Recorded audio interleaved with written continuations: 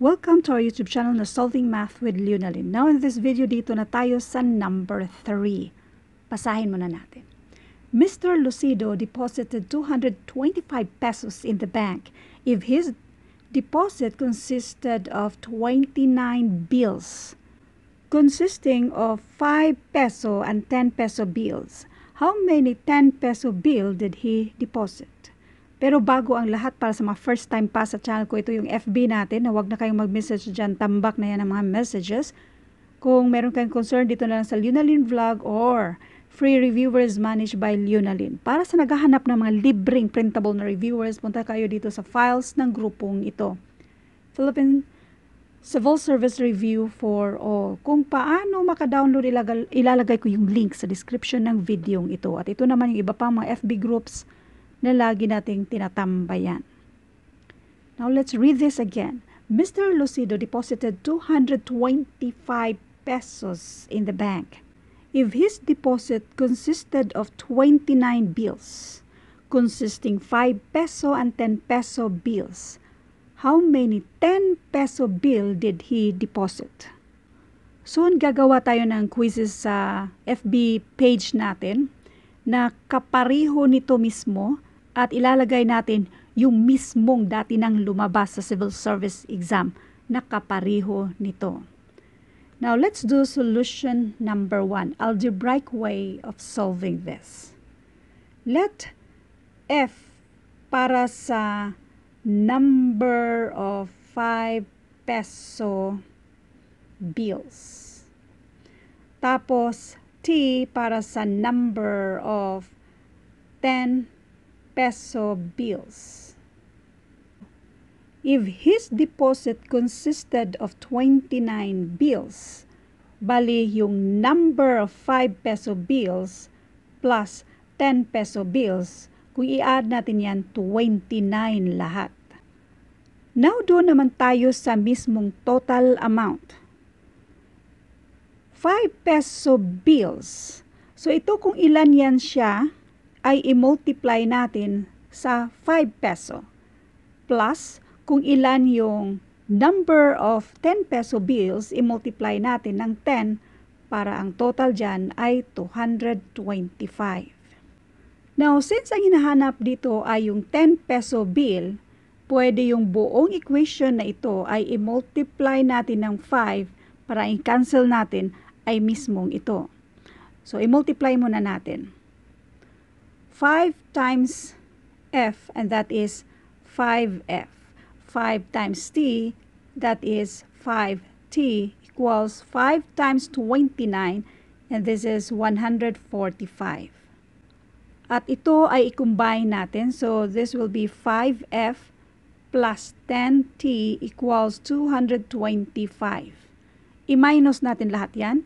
So makancel na yan siya kasi 0 na yan. 10t minus 5t, this is 5t. 225 minus 145, so this is 0, 80. Para makuha natin yung value ni t, since si 5 pang multiply sa t, pang divide na ngayon siya sa 80. In other words, nag-divide tayo ng 5 to both sides para makancel yan siya, isolated na si t.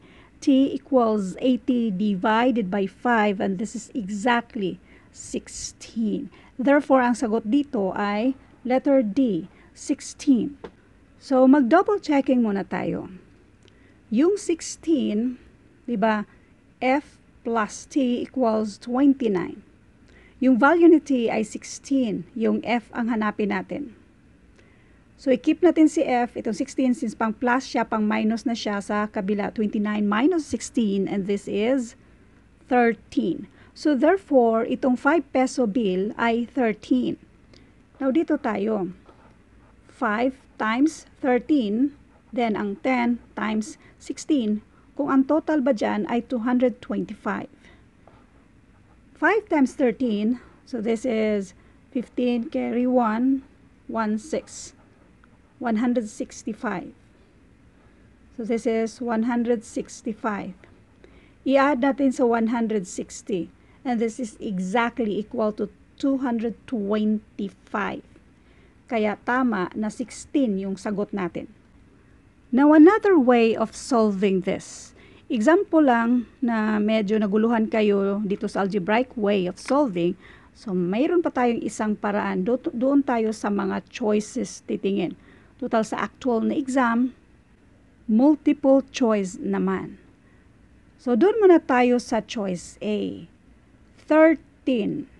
Kunwari, yan yung mga diniposit niyang 10 pesos. So, times 10 equals 130. So, itong total na 29, minusan natin sa 13.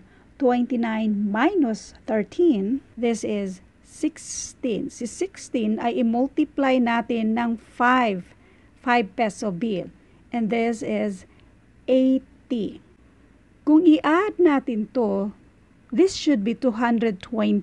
Pero obviously, this is equal to 210 lang. So, eliminate natin si A. Now, doon naman tayo sa 14. Itong si 14, tingnan natin. Si 14, i-multiply natin ng 10. This is 140. Kung i-minus naman natin yan sa 29, and this is 15. Kung si 15, i-multiply natin ng 5, this is 75. Kung ang i-add natin itong dalawa, this will only give us 215. So, eliminate natin yung 14. Now, doon naman tayo sa 15. 15 times 10, 150. 29 minus 15, and this is 14. 14 times 5, this is 70. Kung i-add natin to, this is 220. Eliminate natin yan kasi ang hinahanap natin ay 225. Obviously, isa na lang ang natira. Pero, isulat pa rin natin yan siya. Para klaro lang sa inyo. So, 16 yung tag-sampo. So, we have 160. 29 minus 16, and this is 13. 13 times 5, so this is 65.